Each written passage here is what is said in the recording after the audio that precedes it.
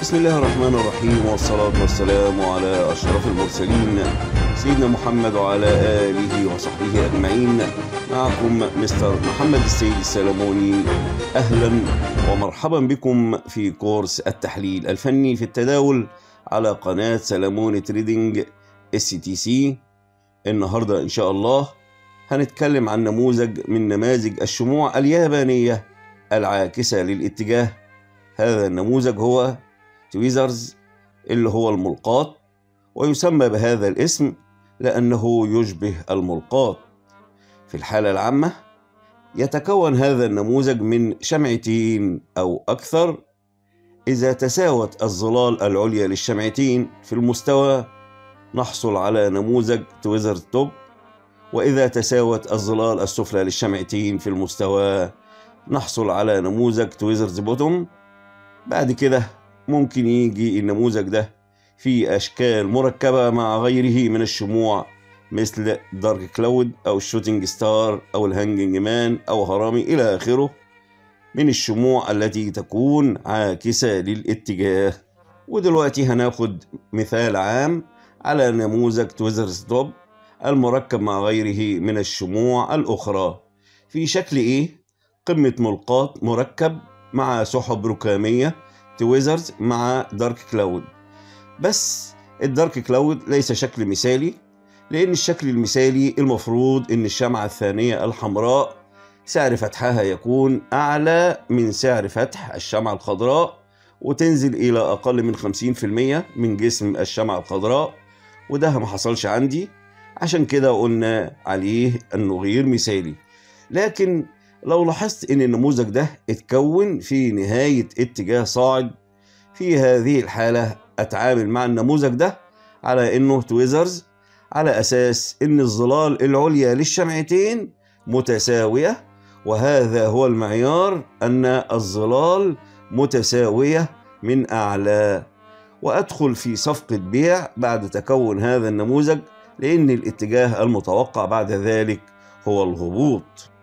في شكل B عبارة عن tweezer top مع shooting star لاحظ أن الظلان متساويان من أعلى وتكون النموذج بعد اتجاه صاعد يعني ممكن تدخل صفقة بيع لأن الاتجاه المتوقع هو انعكاس السعر الأسفل طيب هل كان من الممكن أدخل على أساس إن ده نموذج شهاب؟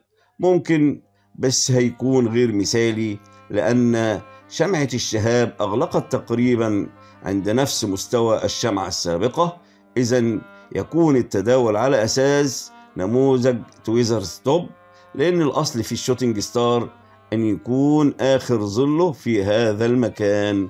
ودلوقتي أنا نموذج tweezers top واضح عندي لأن الذيول تساوت في المستوى من أعلى. الشكل C عندي قمة ملقاط tweezers top ورجل مشنوق hanging man واتجاه صاعد. بإمكاني انتظار شمعة التأكيد الثالثة وأتداول بعدها على أساس نموذج hanging man أو إن أنا أتداول على أساس نموذج tweezers top. وبكده يبقى النموذجين بيأكدوا بعض عندي وبيأكدوا حدوث الانعكاس في السعر.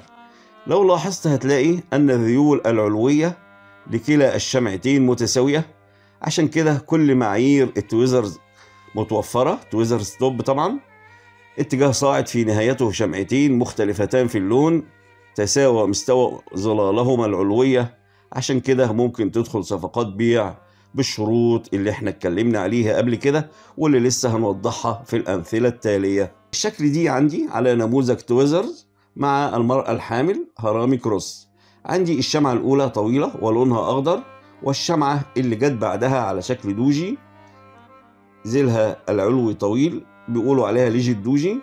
ومستوى هذا الظل خد بالك من المعلومة دي ومستوى هذا الظل العلوي يساوي تقريبا نفس مستوى الشمعة التي قبلها والاتجاه صاعد.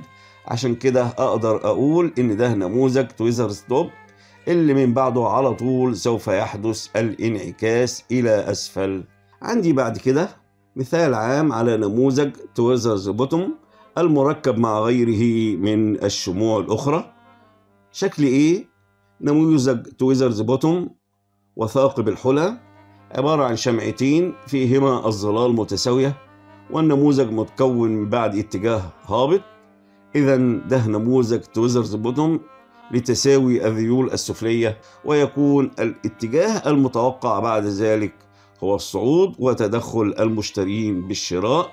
في شكل B عندي نموذج مكون من شمعتين ممكن أبص له على إنه harami أو مطرقة ولكن لو نظرت إليه على أنه tweezers bottom تكون في اتجاه هابط فيه شمعتين الأولى والثانية تساوت الذيول السفلية لهما. لو جيت أتداول على إنه المطرقة فأنا محتاج أستنى الشمعة الثالثة تغلق فوق مستويات ذيول شمعة المطرقة. ولو تداولت عليه على إنه tweezers bottom ماشي مفيش مشكلة. على أساس إن الذيول السفلية لكلا الشمعتين تساوت كل الحالات هيكون احتمالية انعكاس الاتجاه واضحة. B C عبارة عن قاع ملقاط tweezers bottom ومطرقة مقلوبة inverted hammer أنا هبص له على أساس إنه tweezers bottom الظلال السفلية عندي للشمعتين متساوية المستوى على طول يبقى ده هو نموذج tweezers bottom يبقى كده عندي شكلين يؤكدان انعكاس الاتجاه بصفة أكيدة. ال inverted hammer وال tweezers bottom وبندخل بعد الشمعة الثالثة ما تغلق. أعلى من ذيل شمعة inverted hammer دي عبارة عن نموذج harami جاء بعد اتجاه هابط. مركب مع tweezers bottom هنلاحظ ظل شمعة ال harami. في نفس مستوى ظل شمعة ال tweezer. يبقى كده الانعكاس على وشك الحدوث. لوجود نموذجان يؤكدان أن ذلك على وشك. والآن مع تطبيق عملي على هذا النموذج هذا التطبيق يتكون من أربع أمثلة على نفس الشرط. رقم واحد عندي اتجاه صاعد تكون في نهايته نموذج tweezers top. عبارة عن نموذج مكون من شمعتين مختلفتين في النوع. الأولى خضراء والثانية حمراء. ممكن أتداول على إن النموذج ده engulfing pattern الشمعة الحمراء ابتلعت بداخلها الشمعة الخضراء بس اللي يأكد الانعكاس أكتر وجود تويزر ستوب هتلاقي إن ظلال الشمعتين الحمراء الطويلة والخضراء متساوية يعني الظلال عند نفس المستوى العلوي عشان كده ممكن تدخل صفقات بيع من بعد تكون هذا النموذج ويفضل التداول بعد الشمعة الثالثة. ما تقفل أسفل مستوى الشمعة الخضراء. رقم اتنين عندي اتجاه هابط والشكل المستطيل الذي بداخله أربع شمعات. ده عبارة عن نموذج tweezers bottom وده نموذج قوي جدا يؤكد انعكاس الاتجاه لأعلى بعد تكونه. هتلاقي جميع مستويات الشموع السفلية متساوية اللي يهمني مستوى ذيل الشمعة الخضراء الأولى والشمعة اللي جت بعدها والذيول كلها واقعة في مستوى واحد. ممكن تدخل صفقات شراء بس استنى بعد اكتمال النموذج وادخل بعد غلق الشمعة. اللي بتيجي بعد النموذج ده كله أعلى من مستوى الشمعة الخضراء الأولى. رقم ثلاثة اتكون عندي نموذج تويزر ثوب. هتلاقي شمعة خضراء جت بعدها شمعة حمراء مستوى الظلال العلوية متساوية. عشان كده انعكس الاتجاه بعد كده لأسفل. ممكن تدخل مع البائعين صفقات بيع بالشروط اللي اتكلمنا قبل كده عنها. رقم أربعة نفس النموذج عندي tweezers bottom. زي ما حصل عندي بالظبط في رقم اتنين نفس الكلام ممكن نقوله على رقم أربعة. ودلوقتي يلا بينا نشوف أمثلة عملية على الشرط. عندي مثال واحد لو نلاحظ مع بعض في هذه المنطقة اللي فيها شكل بيضاوي عندي فيها كذا شمعة. طيب يا ترى هتداول فيها على أساس إنها morning star ولا doji؟ طيب أنا اللي يهمني هو الشمعتين الأولى والثالثة. الشمعة اللي في النص دي مفيش مشكلة فيها. الشمعة الأولى والثالثة موجودتان في نفس المنطقة. أي نعم هم مش متتاليتان مفيش مشكلة. أهم حاجة عندي إن الظلال وصلت لنفس المستوى بالظبط وتكونا في نهاية اتجاه هابط. يبقى على طول أحكم على النموذج ده على إنه tweezers bottom أكيد من بعد كده هذا النموذج سوف ينعكس الاتجاه لأعلى نظرا لتدخل المشترين بالشراء. واللي اكد لي إن النموذج ده اتفعل هتلاقي إن سعر الشمعة الخضراء رقم 2 يغلق أعلى من ذيل الشمعة الحمراء أي أعلى من ظل قاع الملقاط. يعني لا أعتمد على أول شمعة ولا تاني شمعة. أتدخل ابتداء من الشمعة الخضراء الثالثة صفقات شراء وأنا مطمن إن دي صفقة رابحة إن شاء الله.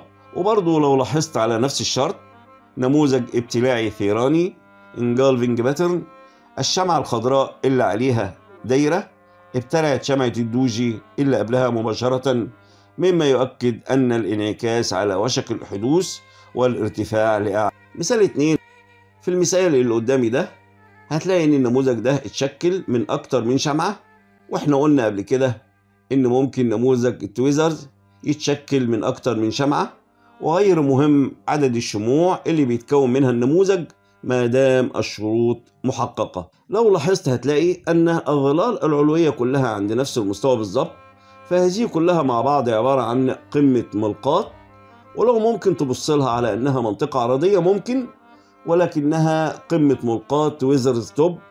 يبقى على هذا الأساس هيحصل عندي انعكاس وليس استمرار. وبالتالي أنا مش هتعامل معها على أنها منطقة عرضية ولكن هتعامل معاها على أنها منطقة انعكاسية. هتلاقي قمة الملقاط هذه اتكونت بعد اتجاه صاعد ولو ركزت داخل الشموع داخل النموذج نفسه هتلاقي فيه shooting star نجمة مساء في هذه المنطقة حتى لو مش مثالية بنسبة 100% لكن يتبقى نموذج النجمة يقوي فاعلية نموذج قمة الملقاط في هذه المنطقة وده بيديني احتمالية كبيرة جدا للانعكاس لأسفل. كمان آخر حاجة على نفس الشكل المنطقة اللي تحت دي برضو تشكل عندي قاع ملقاط tweezers bottom عندي الشمعة الأولى حمراء فردية والشمعة الأخيرة فردية. هتلاقي أن مستويات الزيول كلها متساوية. عشان كده قلت عليها قاع ملقاط أطبق عليها كل شروط التداول اللي أنا ممكن أتداول بيها على أساس أنها tweezers bottom كده يبقى خلصنا الكلام على شمعة ال tweezers وإلى أن ألقاكم في المحاضرة القادمة لكم خالص تحياتي. كان معكم مستر محمد السيد السلموني كبير معلمي الرياضيات ومحلل فني وسيكولوجي في سوق المال والأعمال. وأذكر نفسي وإياكم بحديث رسول الله صلى الله عليه وسلم لو أنكم توكلتم على الله حق توكله لرزقكم كما يرزق الطير تغدو خماصا وتروح بطانا صدق رسول الله صلى الله عليه وسلم. والسلام عليكم ورحمة الله وبركاته.